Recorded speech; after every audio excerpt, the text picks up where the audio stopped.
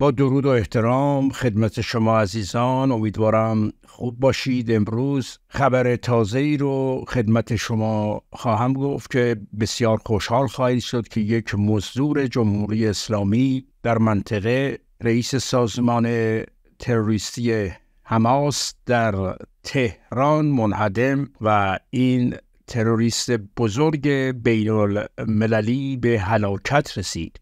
و گویا حداقل یکی از محافظان او نیز به هلاکت رسیده است. اسماعیل هنیه برای شرکت در مراسم تحلیف پزشکیان به جمهوری اسلامی اومده بود. دیروز با خامنه ای در بیت رهبری ملاقات کرد و سپس در مجلس شورای اسلامی دست در دست پزشکیان قاتل و قلابی شعار نابودی اسرائیل رو سر می‌داد. ترور همزمان اسماعیل هنیه در قلب تهران و سامی شکر فرمانده ارشد حزب الله در قلعه امنیتی اون در ساحیه جنوبی بیروت. رخدادهای این روزها بسیار بسیار حساس هست و برای سرنوشت ایران هم بسیار مهم است. به گزارش رسانه های خامنه ای نوشتند کشته شدن اسماعیل هنیه ساعت دوی نیمه شب اتفاق افتاد. هنیه که برای مراسم تحلیف پزشکیان به ایران آمده بود در یکی از اقامتگاه های شمال تهران مستقر بود که با اصابت پرتابه از هوا به درک واصل شد. بررسی های بیشتر در حال انجام است به زودی جزئیات دقیق اعلام خواهد شد. العربی هم نوشت موشک هدایت شونده به اتاق خواب اسماعیل هنیه نفوذ کرده. او رو مورد اصابت قرار داده. و گویا علی خامنه ای رو به مکانی نامعلوم بردن. خبرها حاکیز پس از کشته شدن اسماعیل هنیه اون هم در قلب تهران در نزدیک بیت خمینی ملعون یعنی جماران علی خامنه ای رهبر تروریست های جهان هم به مکانی نامعلوم برده شدند. تبریک به مردم ایران از همه آزادگان جهان سرازیر شده. مردم هم خوشحالند مردم ایران خوشحالند از اینکه این جرسوم های فساد در تهران و در ایران جا خوش کردند و جاشون در ایران نیست. اینها باید در همون شهرهای عربی خودشون باشند. حالا یک عربی شده رهبر ایران و اینها رو راه داده و اینها در مکان مقدسی که مال کوروش و داریوش و شاهان ایرانی است نباید بیایند و اینجا رو کثیف کنند. اما سزای اعمال کثیفشون را هم دارند می‌گیرند. ترور همزمان اسماعیل هنیه در قلب تهران و سامی شوک فرمانده ارشد حزب الله در قلعه امنیتی اون در جنوب بیروت رخدادهای سرنوشت ساز در تعیین سمت سوی رخدادهای عادی منطقه است. این ترورها میزان رخنه اطلاعاتی نیروهای اطلاعاتی اسرائیل رو برملا می‌کنه و بیش از یک موفقیت میدانی برای آنها در حکم یک دستاورد بزرگ امنیتی است. در خود غزه که سرزمینی کوچک و به نحوی محصور در اسرائیل است سازمانهای جاسوسی دولت یهود فاقد این میزان رخنه و نفوذ هستند. این ترورها بیانگر اراده اسرائیل برای تعیین خطوط قرمزهای جدید علیه جمهوری اسلامی، حزب الله و حماس است. به طور مشخص این رژیم جمهوری اسلامی بران است که از نقطه عطف هفت اکتبر عملیات وعده صادق و حمله مجدل الشمس که هر یک به نحو ضعیفی آن را آشکار کردند می‌خواهند از اسرائیل عبور کنند و ترکیبات جدیدی به طرفهای درگیر تحمیل کنند.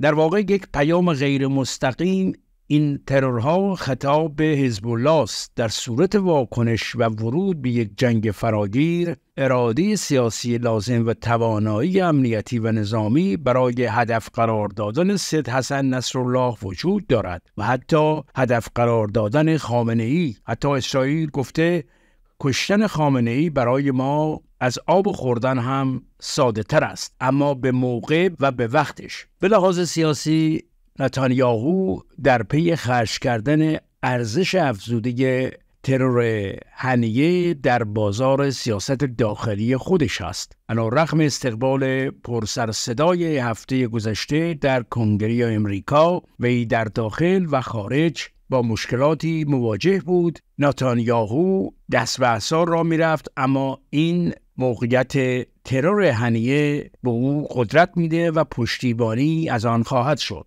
از این رو اسرائیل قصد دارد با حوصله تا ماه نوامبر و پیروزی احتمالی ترامپ زمان رو خریده و با امید یکسر کردن کار حماس به جنگ جاری ادامه دهد. و طبعات احتمالی آنها از حیث افزایش دامنه نسبی تنشها برای دولت نتانیاهو در رقابتهای سیاسی داخلی اسرائیل نوعی دستاورد و ابزار بقا به شمار می رود و کشتن هنیه امتیازی برای نتانیاهوست. ترور دیشب تهران را هم در موقعیت دشواری قرار میده. هنیه مهمان رسمی دولت جمهوری اسلامی در یک زیافت مهم نمادین بود در حالی که هنوز هیئت‌های خارجی حاضر در تحلیف رئیس جمهور جدید تهران را به صورت کامل ترک نکردند. انجام یک حمله تروریستی هدفمند در پایتخت به حاجت تحقیر کننده و تحریک آمیز است. هرچند کشته نشدن هیچ فرد ایرانی در حادثه و عدم پذیرش رسمی مسئولیت آن از جانب دولت اسرائیل برخلاف ترور سامی شکر در بیروت به قصد پیشگیری از تحریک بیش از حد ایران و وادار نشدن آن به انتقام جویی انجام شده. اما در همین حد هم چالش بی سابقه محسوب میشه.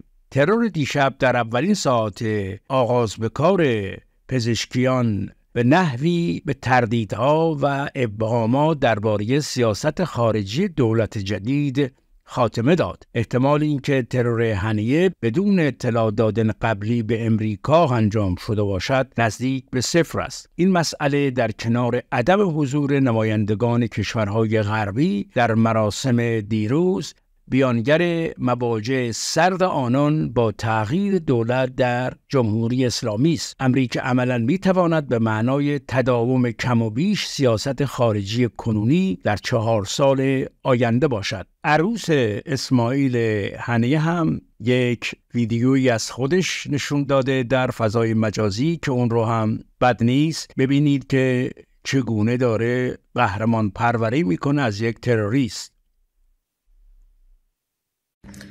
بقلوب راضية بقضاء الله وقدره. أني رجل تضج الأرض والسماء بطيب ذكره. رجل غني عن التعريف. أنعي عمي وحبيبي وأبي وتاج رأسي وقرة عيني. العم أبو العبد هنية. ليلتحق بركب المجاهدين. والصادقين والميامين. ليلتحق بركب أبنائي وبركب هذه الدماء الزكية الشهيد البطل القائد العظيم الجليل. لا نقول إلا ما يرضي الله.